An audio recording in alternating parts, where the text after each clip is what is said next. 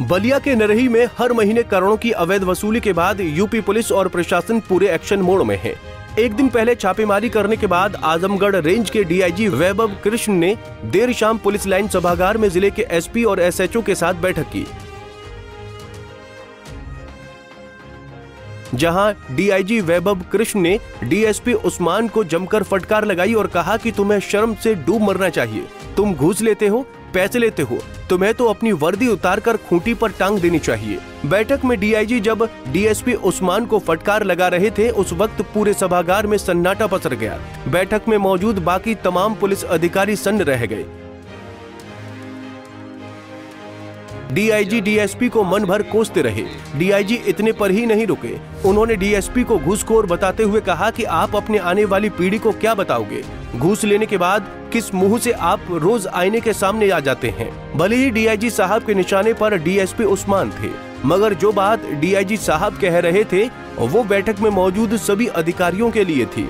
इस बैठक में डीआईजी ने अधिकारियों को जमकर फटकार लगाई और सभी अधिकारियों को अपने काम करने के तरीके बदलने की चेतावनी दे डाली।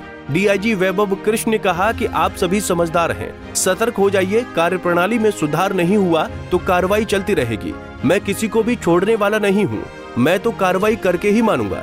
आपको बता दें कि डीआईजी को सूचना मिली थी कि बरैया क्षेत्र में भी ट्रकों से अवैध वसूली होती है। इसी इनपुट को लेकर डीआईजी ने बेरिया के सीओ उस्मान को जमकर फटकार लगाई। बैठक के दौरान डीआईजी ने कहा कि बलिया पुलिस की कार्यशैली से पूरे पुलिस की छवि खराब हुई है। उन्होंने अधिकारियों से कहा कि सभी थाना प्रभारी अपने क्षेत्र में जो नाबालिग, फारसा गैंग, यादव गैंग और शिकारी गैंग चला रहे हैं, इन सभी पर कड़ी कार्रवाई करें। दरअसल बलिया में यूपी बिहार बॉर्डर पर अवैध वसूली सिंडिकेट का भंडाफोड़ हुआ था। यूपी बिहार बॉर्डर पर पुलिस वाले ही पैसे लेकर शराब, मवेशी और बालू लदे ट्रकों को बॉर्डर पार कराते थे। गुप्त सूचना के आधार पर एडीजी वाराणसी, पीयूष मोंडिया ने रात के समय एसटीएफ टीम के साथ सिविल ड्रेस में छापा मारा था। उन्होंने दो पुलिसकर्मियों सहित 18 लोगों को रंगे हाथों पकड़ा, जिसमें 16 दलाल शामिल थे। इस कार्रवाई में 17 पुलिसकर्मियों समेत 23 के खिलाफ केस दर्ज किया गया है। वहीं थाना अध्यक्ष नरही समेत पाँच पुलिसकर्मी मौके से फरार हैं। एडीजी ने तत्काल एक्शन लेते हुए कोरंटा डी चौकी के सभी छह पुलिसकर्मियों और थाना अध्यक्ष नरही पन्नेलाल को सस्पेंड कर दिया। वहीं इस खुलासे के बाद एक तरफ़ जहाँ यूपी पुलिस की फजीहत हो रही है, वहीं आजमगढ़ मंडल के डीआईजी खुद बलिया में कैंप किए हुए हैं और अधिकारियों की क्लास लगा रहे हैं। पंजाब केसरी टीवी के लिए बलिया से मुकेश मिश्रा की रिपोर्ट।